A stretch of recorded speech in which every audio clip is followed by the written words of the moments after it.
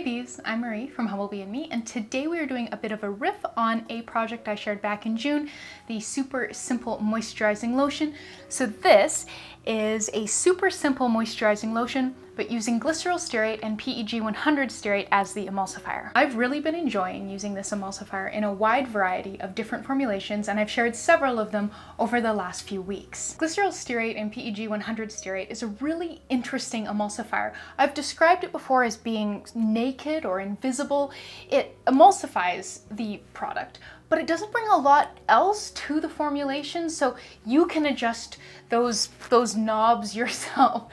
So it's a really really versatile emulsifier that's very, very fun to play with. This nakedness does mean that formulating with glyceryl stearate and PEG 100 stearate is different from formulating with Polawax or Olivem 1000. I thought I'd create this video and its partner blog post to show you how you can take a formulation designed to work with something like Polawax or Ritamulse SCG and adapt it to work with glyceryl stearate and PEG 100 stearate. The general gist of it is that you need to use less emulsifying wax and you need to add some sort of a fatty thickener to make up for the loss in viscosity. Please make sure you are reading the partner blog post. It's linked in the description box below. I've provided clear and fairly extensive instructions on how to modify formulations to use glyceryl stearate and PEG 100 stearate instead of more common emulsifying waxes. This video is more about showing you what happens. So of course we're going to make the modified version and I walk you through how I came to those modifications in the blog post, so please make sure you're reading it.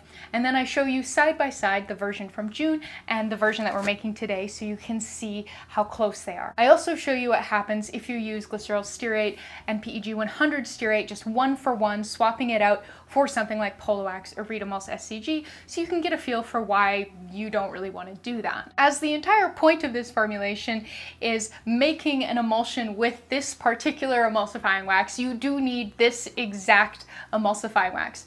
If you don't have it, I would recommend you check out the post from June, which uses more typical emulsifying waxes. You could use Polawax, Ritamulse, SCG, emulsifying wax NF or Olivem 1000 or BTMS 50 very, very easily. But the point of this formulation is that we are using this emulsifying wax. All right, I think that's enough preamble please, please, please read the blog post and make sure you are checking out the Humblebee and Me encyclopedia entry on this emulsifier as both are very illuminating. But yeah, Let's get started. We'll begin by combining the ingredients for our two heated phases in two separate beakers. So in this beaker, I already have 76.5 grams of distilled water, and to that I'm going to add 10 grams vegetable glycerin.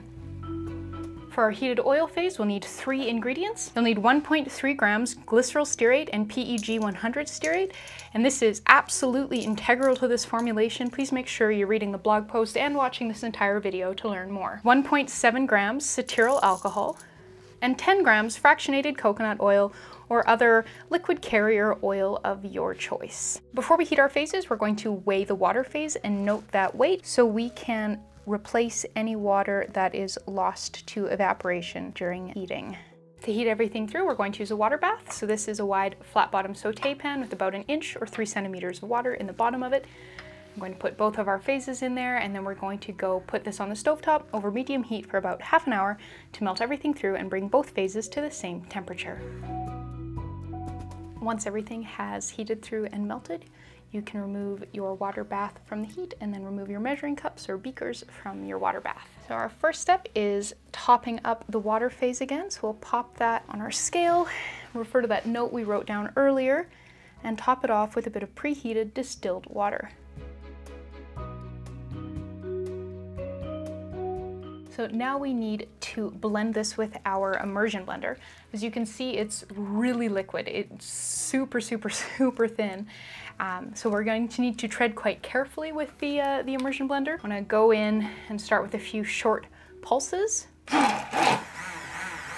before working up to a full blend, and that will uh, avoid lotion spraying everywhere. It's also part of the reason I chose a beaker for this formulation rather than a measuring cup. It's got a bit higher sides and I find that it is a lot less prone to making a great big mess.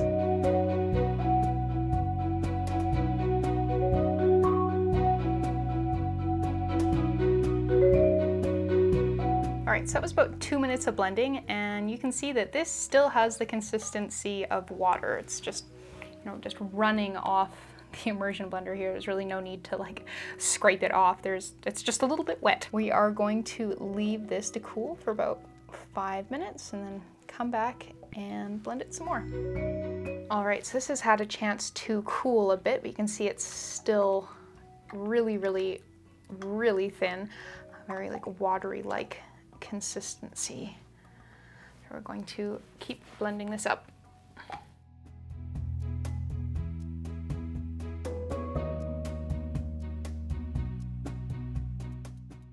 All right, so that was about another two minutes of blending and this is definitely starting to gain some viscosity. It's never gonna be really, really crazy thick because we you know, did design this to be uh, pump top friendly, but this is definitely uh, gaining some, some viscosity.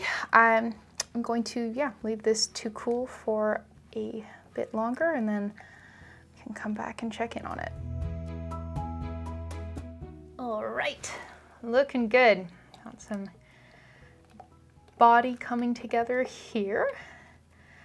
And yeah, give that, I think another bit of a blending, but it's, if this was a thicker lotion, I probably wouldn't just because we wouldn't be able to, but it's on the thinner side, so we can. And then we can incorporate our cool down phase. So when we pull the head of the immersion blender out, you can really see that it has gained some viscosity. Uh, if this was, you know, a custard, it would have reached that point where you could draw a line through it on the back of a spoon. So it definitely has gained some nice uh, viscosity, but yeah, it is still fairly thin, really lightweight. So we want this to work really nicely in a pump top bottle. And also that thinner consistency is a benefit of the, or a feature of the, um, the emulsifier that we are using here. But yeah, we can add our cool down phase now. Our cool down phase is so simple, I'm going to just add it straight to the beaker, nice and careful like. So you need 0.5 grams liquid Germall Plus, and if you want to learn about possibly using different preservatives, I have an FAQ on that, so I highly recommend checking that out at humblebeeandme.com slash FAQ. Okay, so that's it for the making, but before we package this up, I want to do a bit of a show and tell and show you a couple different versions of this formulation so you can learn a bit more about this emulsifier. Make sure you're reading the partner blog post. There's a lot more information there and they really are designed to go together. All right, so here are four different versions of this super simple moisturizing lotion. So this is the one I did a few months ago using Polawax or Emulsifying Wax NF as the emulsifying wax, and you could use Polawax, Emulsifying Wax NF, Olivem 1000, Ritamulse SCG, BTMS 50 would also work really well. So I've put a little bit in the dish here so you can kind of get a feel for these two compared to one another.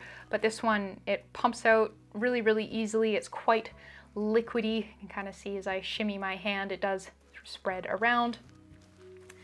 It's really lightweight, massages into the skin very, very easily. That's that. Um, for more information on this, I've linked to it in the description box below. Um, it's really worthwhile comparing these two formulations to sort of see how they differ. And again, make sure you're reading the blog post that goes with this video because it's really quite uh, educational. So here's the one that we just made. And I would say that this one is thinner than its sort of, um, its Polawax companion, but not by a whole heck of a lot. When you are swapping the emulsifiers around as we have done today, you know, it does take a bit of iterating, but it's also worth you know, acknowledging that they are different emulsifiers and they really do create different types of products. So you will get you know, some differences for sure. So here's this one. It's also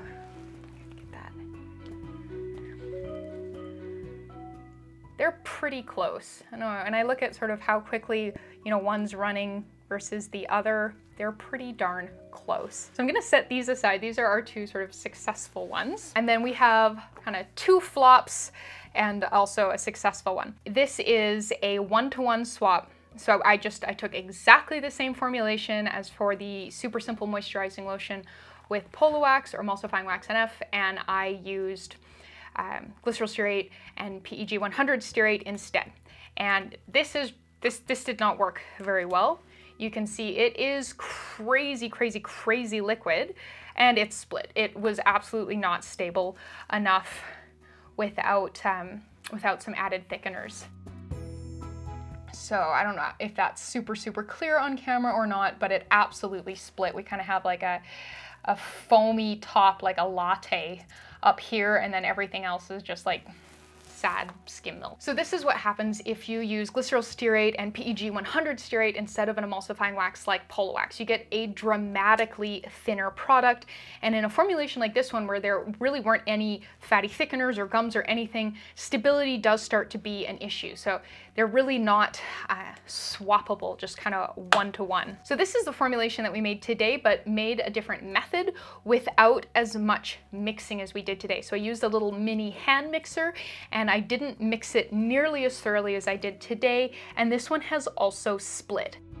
And down at the bottom, you can see that it is watery and it's, yeah, not stable. So we've got kind of a thicker top on this, uh, but that's because there's water on the bottom. So yeah, not, not a stable emulsion because it just wasn't blended thoroughly enough. And then this is a formulation that we just made with the same method where it was mixed nice and thoroughly with an immersion blender and you can see that it is you know, it's still pretty liquidy, so it'll uh, be very nice and pump top friendly, but it is, you know, still stable. Those are the different, different versions. So we've got one-to-one, -one, way too thin and not stable. This, this emulsion eventually splits. And we've got a modified version without thorough enough high shear mixing and this version also eventually splits. And then we have our successful variation where we traded some of the emulsifier for a fatty thickener and then thoroughly blended it and this is stable and pretty darn comparable to the super simple moisturizing lotion that I shared back in June. And with this all made and the uh, bit of show and tell done, all that's left is packaging. So this emulsion is very pump top bottle friendly. So I've got a four ounce or 120 mil pump top bottle here and we'll just pour this straight in. Popping these can be a little bit tricky. I find that it usually helps if you pull up as you twist. There we go prime the pump. And there is our lovely, super simple moisturizing lotion made with glyceryl stearate and PEG 100 stearate. It feels absolutely gorgeous on the skin, really moisturizing, lightweight, fast absorbing, no soaping effect, just lovely. So thank you so much for watching. Please subscribe and please make sure you are reading the full partner blog post for this formulation. There's really a lot more information there and they are designed to be a pair. The blog post talks more about sort of the process and the logic and how to convert a formulation that originally used something like Polawax to use this emulsifying wax instead. And then the video is more about like process and show and tell. So yeah, thank you so much and I'll see you next time.